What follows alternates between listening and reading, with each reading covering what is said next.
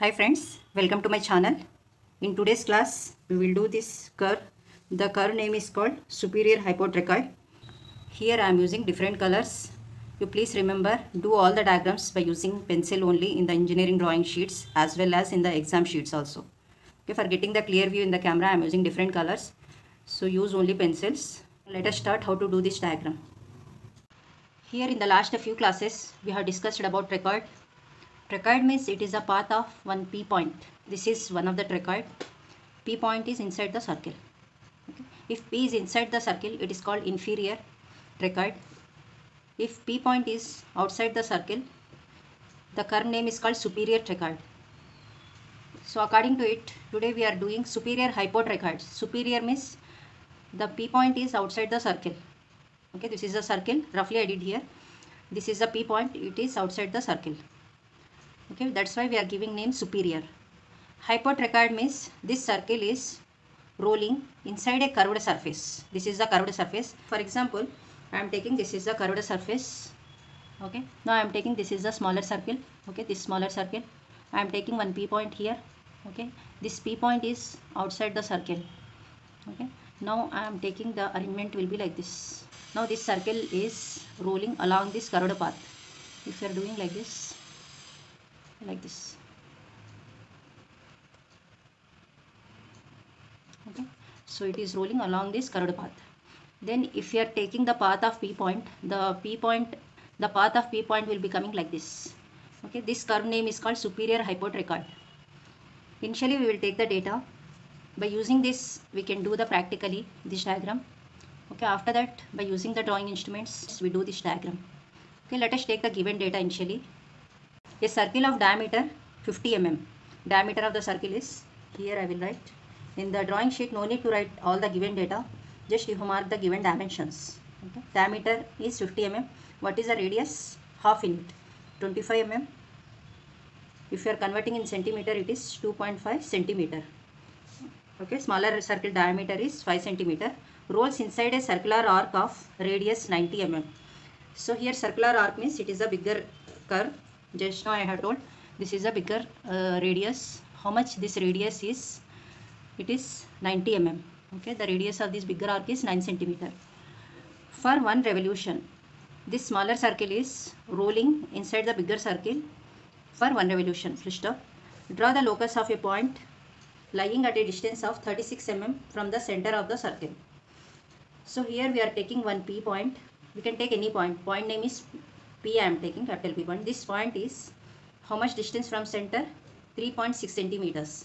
So for this smaller circle diameter I am taking this is a P point. From this center it is 3.6 centimeters. Okay. So we need to draw the locus of this P point. Okay. Let us do practically. Okay. Here it has given one revolution. The, this smaller circle is rolling for one revolution. I took one bigger curved surface. Okay inside this smaller circle is rolling. I am taking this is the smaller circle and this P point is outside the circle. Okay. Now let us take this circle is initially let us mark this point. Okay. Initial point it is. Okay. Now this initial point is let us take it is here initially. Okay. I will mark on the paper also this point like this. Okay. Roughly I am taking. Now this initial point is here. Okay let us take this is the a point. Here I have marked this is the a point. Okay initial point. Now after that mark the position of the p point also. Okay I am marking roughly. Let us take this is the p point. Now circle is rolling like this. Now mark the p point position.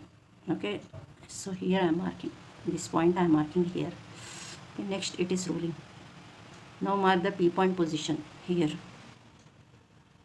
now again it is rolling. Now mark the p point position okay? Now next it is moving like this okay? This position is coming here okay? Mark that position on the paper also okay? And now mark the p position also okay? Now here whatever this point at the a point okay? At the starting the same position is coming here. Now we can say this circle is rolling for one complete revolution okay? Now i am taking this point is b point. Okay? Now circle is rolling from a to b. So join these two points also. It is showing the curved surface. Okay? I will do the curved surface also here. Okay? I will join both surfaces. I will join both points. Now here these are the p position. This is first point. This is the last point. Okay? Now this is one of the point. This is another point. This is another point. Okay? Is it visible? Okay. If we join all the points okay if we join all the points p points we will get the curve. So let us do here. Just this point and here I am joining this point and next point and next point and then this point. Okay? Are you able to see this curve? Okay it is coming here also. Okay this curve is called superior hypotrochoid so we need to do this curve. For doing this curve we have to take this surface. Okay? So initially we have to do this curved path. Okay? Now for doing the curved path this path we want this radius. It has given in the question it is 9 centimeter. Take any one of the point as center do an arc okay 9 centimeter arc. Take any point as a, any one of the point as a starting point a point. Okay similarly we took here a point. Okay after that do an arc up to some length. Okay here we have one formula for calculating this angle. After getting this angle we can do this line end line okay? What is the formula for calculating this angle? 360 into small r by capital r okay 360 into what is smaller radius of the smaller circle. How much it is? 25 mm. Okay so it is 25 mm divided by capital R means what is the capital R? Radius of the arc is 90 mm. So 90 so do this. 9 4 36 25 into 4 means 100 degrees. Okay this angle is 100 degrees. After getting 100 we can do this line and we can extend the arc up to this point. The intersection point is b point. After that we will do the smaller circle how to do the smaller circle? From a point we need to mark the center of this circle. Okay. Take the radius is 25 mm. We can do the circle. Let us do this diagram. After that we will do the, superior hypotrochoid let us do here. Let us take from center to this bigger arc 9 centimeter radius. Take 9 centimeter. And here give some gap. Take this point as center. Okay i am taking this point is o point. From o i will do one arc. Okay of some length. Now take any one of the point here. I am giving that point is capital a. Okay i will join a and o by using the scale. Now after that mark this angle. Just now we have calculated 100 degrees. Okay now by using the protractor the initial line should coincide with this line. Take 100 degrees. This is 90 this is 100 okay. Now join this point to this point. Extend up to the arc. So this is the end point. It is the b point. Now remove this arc. So after getting this on this line initial line we have to do the circle so radius is 25 mm. Okay. So from a mark the center 25 mm. Or by using compass take that length take radius is 2.5 centimeter. From a mark the center. Give this is c. Okay center of the smaller circle. Now here do one circle. With the same radius c as center do the circle. After getting the circle mark the p point. Okay. So at what distance it is? 36 mm from the center of the circle. From the center of the circle extend this line mark p point. Now extend the line so this is 3.6 centimeters. Okay this is the p point. After getting p point take same center cp radius do one more circle. Now after getting the bigger circle divide this bigger circle into 12 divisions. If for dividing any circle into equal number of parts we have to take initially what is angle at the center. What is angle at the center? It is 360 degrees. Now we need to divide this 360 into 12 equal divisions how much each division is 30 degrees. Okay so we have to divide this bigger circle into 12 parts. Each part is 30 degrees. So how to divide the circle into 12 parts? Now by using protractor mark 30 degrees. Okay take this is the initial point. Using protractor so this diameter should coincide with this line. Initially mark initial at 0 next 30 degrees. 30 plus 30 means 60 degrees. 60 plus 30 means 90 90 plus 30 means 120 120 plus 30 means 150 150 plus 30 means 180 now join all these points to the center. Now initial point it is coming on the diameter only. Now take this point join this point to center and do the line within this bigger circle. Okay? Now take the next point join to center this one. Now join this point to center. Now this point to center. Now here we have divided the bigger circle into 12 divisions. Mark the names of this. Now i am marking this is one. This is the second part. Third. Fourth. After four. Five six seven eight nine ten eleven. This is a p point. We can give p comma 12 for the same point. Now here we have divided into 12 parts. Now divide this angle 100 degrees angle into 12 parts. Okay. Let us assume if you are dividing into 8 parts this circle. Divide this angle also 8 parts. It is our wish we can divide into any number of parts. Here i have divided into 12 parts. So divide this angle also 12 parts so what is this angle? We already calculated. It is 100 degrees. Now divide this into 12 parts. So by using calci do it 100 divided by 12 so we are getting 8.3 degrees. Okay each part is. Now 8.3 is it able to measure. By using this protractor we can measure exactly 8 okay 8 degrees. So 8.3 means we can't measure correctly. Between 8 and 9 we can take. But it is how much we don't know. It may be 8.3 8.4 or 8.5 any angle. By using trial and error method i will do. I will, initially i will take between 8 and 9 okay? That gap i will take.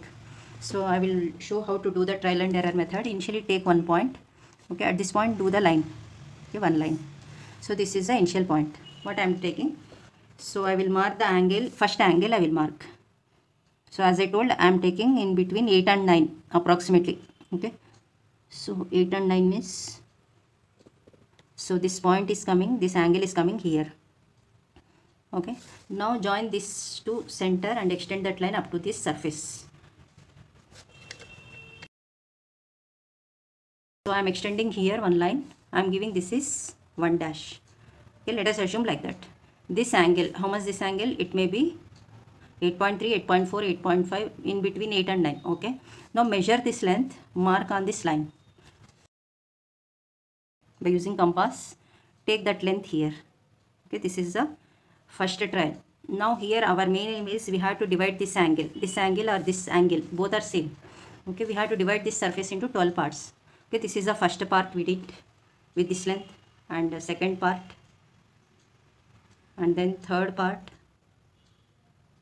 fourth fifth sixth seventh eighth ninth ten eleven twelve. Okay? It is getting more than 12 parts. So with this length we are getting more than 12 parts. That's why we have to increase the length. Okay? Before increasing that length just remove the previous one. With this we can't get the 12 equal divisions that's why remove all the parts neatly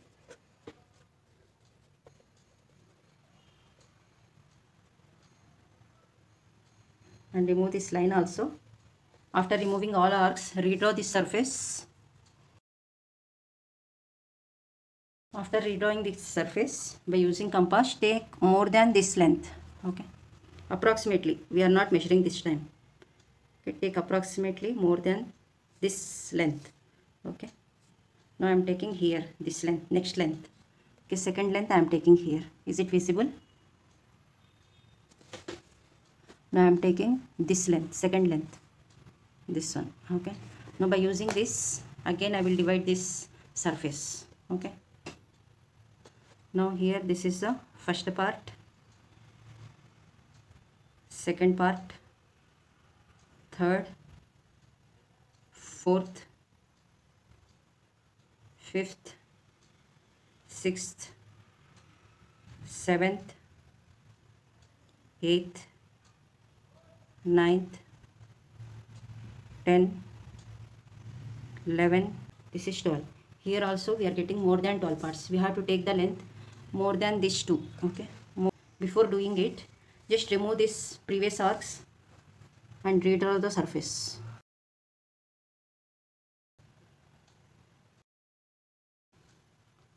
Now after doing this so with the second length also we are getting more than 12 parts. Now take the length more than this. Okay.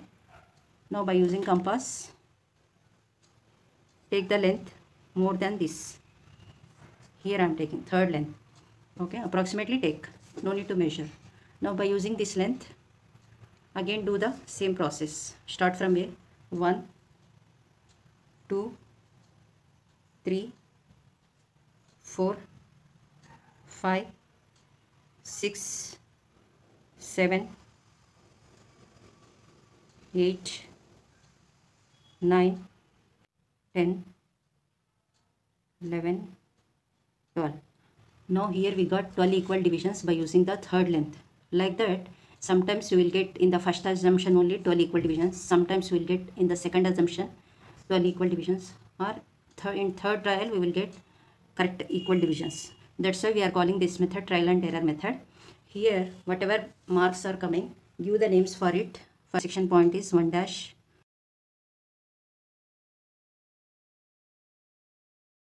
Eleven dash. B comma 12 dash. Okay. Here join all these points to the center by using the scale.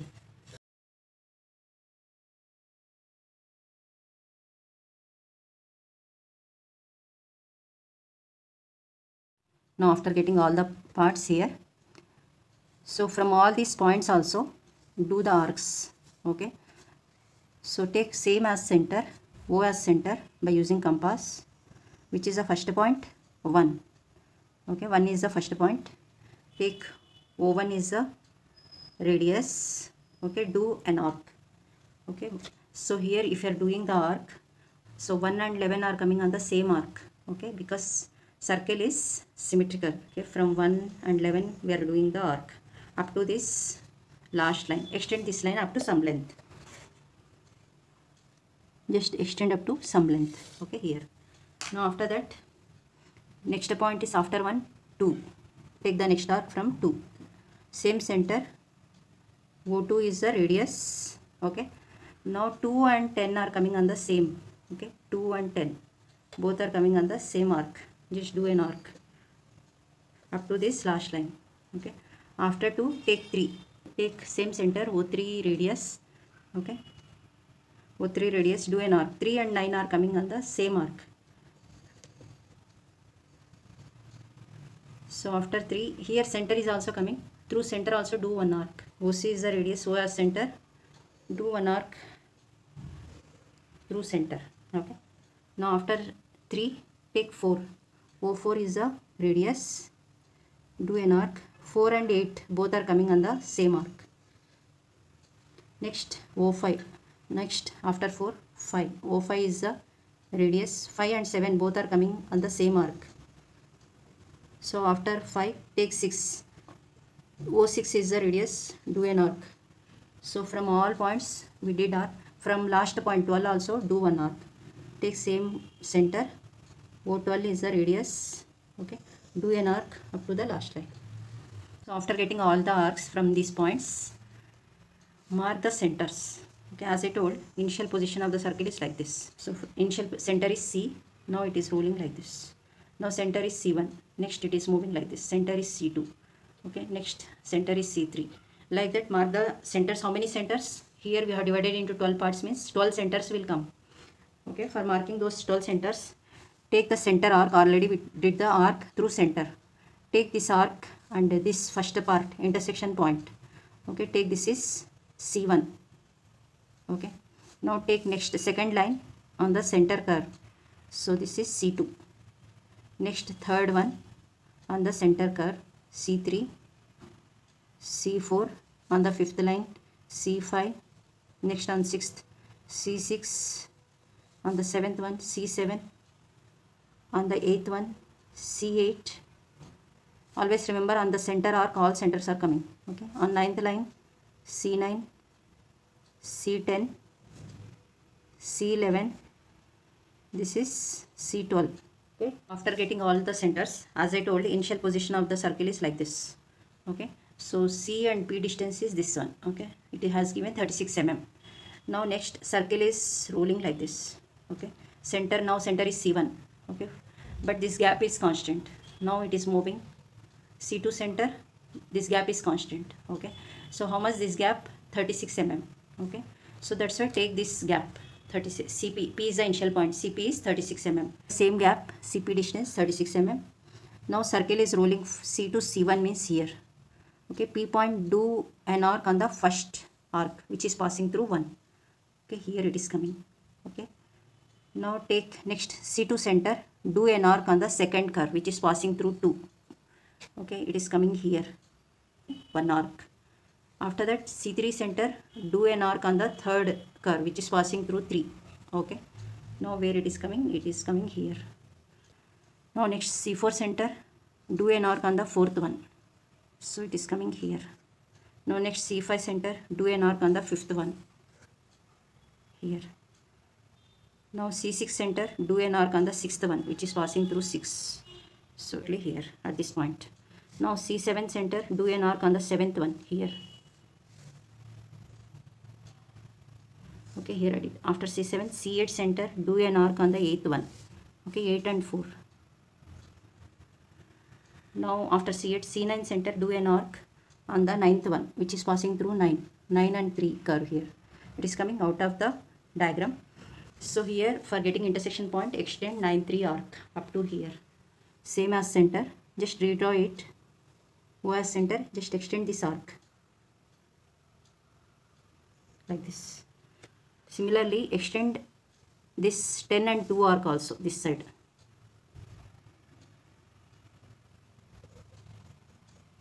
Okay, just like this. Now after C9, take C10 center, do an arc on the 10 and 2 line, okay, the 10th curve. Do an arc on the 10th curve. So this is the 10th curve. We did after C10, C11. Okay, do an arc on the 11th curve. Here it is also coming out of the diagram. So extend this 11th arc for getting the intersection point. Okay here it is getting. Take the same cp radius c11 center. Just do an arc here okay now next take c12 center do an arc here it is exactly matching at this last point okay here now view the intersection points so on the first arc, take the intersection point I am taking this is P1 and on the second arc I am giving P2. On the third curve, the intersection point is P3. On the fourth one, the intersection point is P4. On the fifth one, I am taking this is P5. On the sixth one, I am taking this is P6. On the seventh one, it is P7. On the eighth one, I am taking P8 on the ninth one I am taking P9 on the 10th arc I am taking P10 on the 11th one I am taking P11 on the last point I am taking P12 now after getting all P points join these P points by using the freehand curve so initial point is P point okay join P to P1 P1 to P2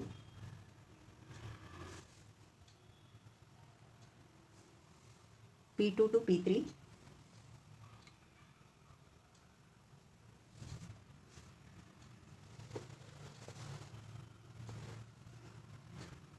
join P2 to P3 P3 to P4 P4 to P5 P5 to P6 P6 to P7 P7 to P8 P7 to P8 P8 to P9 P9 to P10 P10 to P11 P11 to P12 P11 to P12 now this is the path of P point. So here we got one curve. The name of this curve is superior hypotrochoid.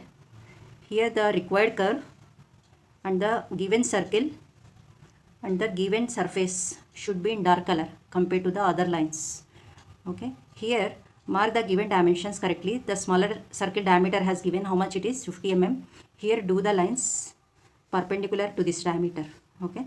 Now keep the symbol diameter symbol write 50 at the middle of the dimensional line. After that we have calculated this angle 100 degrees okay? Keep the arrows on this and mark 100 degrees. Here the bigger radius has given. Extend this surface. So from this center to this surface how much radius? 90 keep r symbol here this is a method of doing the superior hypotrochoid. So here always use pencils for doing these curves the other cycloidal curves and the records video lectures I will give the link in description box. Please check it. If you like this lecture hit the like button subscribe my channel and share with your friends. Thank you for watching